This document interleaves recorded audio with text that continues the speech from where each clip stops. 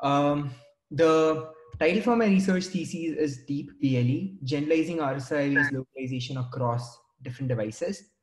And let's begin. Okay. Indoor localization has been a topic of extensive research and interest to uh, the robotics community as a whole. With smartphones becoming assistive robots and personal assistants and almost invading our lives in uh, every sphere, it's uh, very important for us to deploy localization algorithms directly on smartphones. Last year, TechCrunch reported approximately 500 companies that have been using proximity based sensors in certain way in order to localize a person in indoor environments but obviously when we are trying to deploy such systems in real in real world then we don't want them to work, work on a particular type of phone let's say a good phone or just an iphone. With this thought in mind we started uh, thinking about this particular problem statement. Can we develop ml based localization algorithm using proximity sensors that can run on different smartphone devices without performing explicit training for each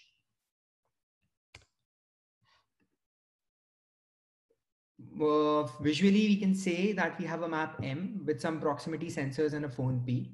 The phone P is receiving RSSI information from the different proximity sensors. And we want to come up with a method so as to uh, predict the location, the 2D location on with respect to the map.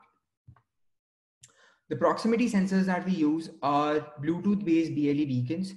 These are beacons designed specifically for IoT. Now, why BLE? Uh, mainly because of three reasons. First, low power consumption. Second, they're cheap and very easy to use. Third, they're compatible with any phone. But the problem with this uh, sensor is that they're extremely noisy. More on that coming up. Typically, a beacon would transmit something called as RSSI to the phone. And RSSI refers to Receive Signal Strength Index. We'll be using this term very frequently, so let's talk about it briefly.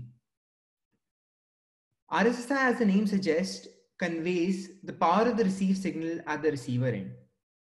It is measured in decibel milliwatts, and it is inversely proportional to the distance between the receiver and a transmitter. So essentially, if there are two receivers, one closer to a beacon and other far away from it, the one that's closer will read a higher um, RSSI as compared to the one that's far away from it. Now, it looks like a simple problem. What are the challenges involved when we are trying to localize using RSSI? Well, the first one is that these are electromagnetic waves. So in typical indoor settings, they would suffer from phenomena like interference, reflection, absorption, multipath fading, and so on, which makes it really difficult to model them.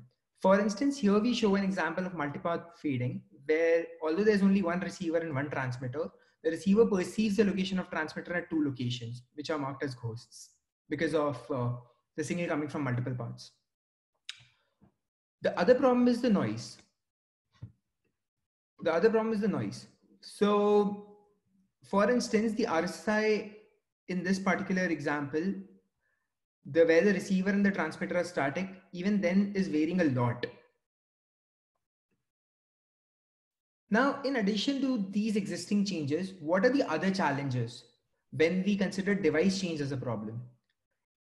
As we move from one phone to another, let's say an iPhone to a Samsung, it leads to change in material, chip design, um, RF module, physical configuration, or the orientation of the antennas, often software pre-processing at the OS level. And all these changes will inevitably lead to change in distribution of the RSSI signal. Just to give you a high level idea of how different RSSI can be for two phones, a subject walks with an Apple iPhone 7 and a Xiaomi uh, on the same path, like with one phone in each hand, and we record RSSI from a particular beacon. As you can see, the signal is significantly different. Let's look at it more closely. In the red region, we see that the mean RSSI for an iPhone is slightly higher than what is observed for a Xiaomi phone. In the yellow region, we see that mostly a Xiaomi phone remains inactive or uh, you know it's not detected with some occasional spikes, whereas it's just the reverse in an Apple where it's detected for most region and inactive for very uh, for a particular second or so, or, or fourth.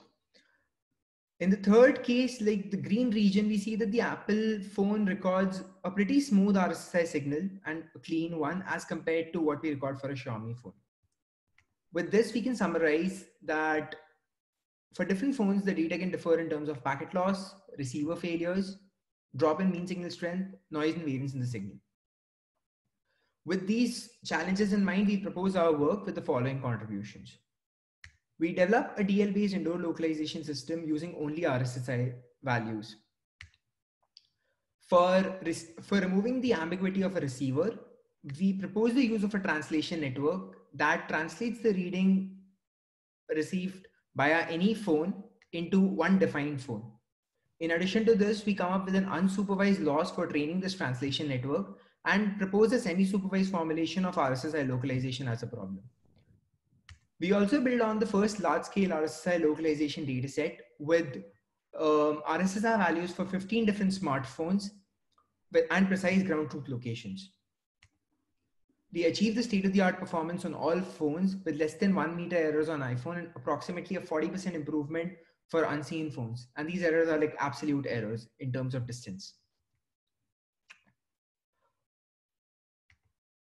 Okay, uh, let's get a quick understanding of how a typical data driven pipeline would work in case of RSSI localization. So you would have a train phase